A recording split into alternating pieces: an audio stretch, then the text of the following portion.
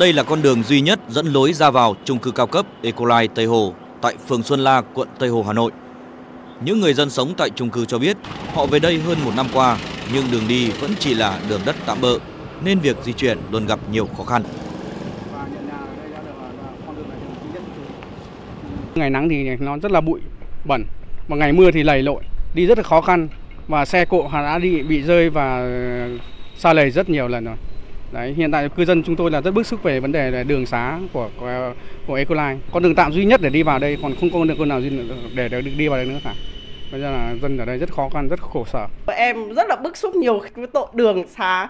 Con nhà em nhá, bé như thế đi đường nó bảo là mẹ ơi tại sao lại đi đường nó lại sóc như thế này bảo thôi con ơi con con cố gắng chịu đựng một thời gian ngày nào nắng đã vậy rồi mưa lúc mà mưa mưa ba mẹ con em đi anh bảo đi trên con đường mương đấy ô tô hai cái ô tô tải rất là to đi cạnh nhau tay lái thì yếu mà phải đón hai con nhỏ đi dừng dừng xe lại để đợi ô tô đi hết 15 20 phút Hiện tại có 3 con đường để đi vào khu chung cư Ecoline Tây Hồ, bao gồm đi qua ngõ 15 Nguyễn Trí Công, ngõ 81 Nguyễn Trí Công và một ngách nhỏ đi vào đường dần tự mở. Từ đường Hoàng Quốc Việt, hơn một năm qua, cư dân đã nhiều lần đề nghị hoàn thành các con đường này.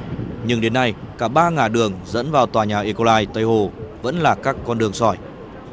Đường đi lại ở đây thì chúng tôi khi mà được mua nhà thì là bảo đến cuối năm 2016 là cái đường 40 m qua nhà xong, rất là đẹp. Đường Nguyễn Văn Huyên cũng ngon lành.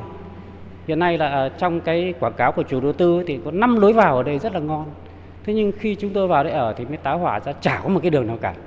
Hiện tại là chỉ đi tạm một cái con đường mương do mấy cái chủ đầu tư ở đây thuê cái đất của dân, ở ven mương để đi tạm.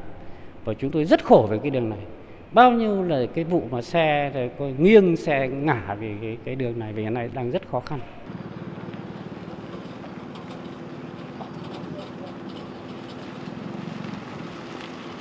Chung cư Ecoline Tây Hồ do công ty cổ phần đầu tư và thương mại thủ đô là chủ đầu tư, được giới thiệu là khu chung cư với ước mơ tạo nên một không gian sống bình yên trong lòng một đô thị sầm uất. Song việc phải sống chung với những con đường đau khổ đã làm cho những cư dân nơi đây bớt đi cảm giác bình yên mỗi khi trở về tổ ấm của mình.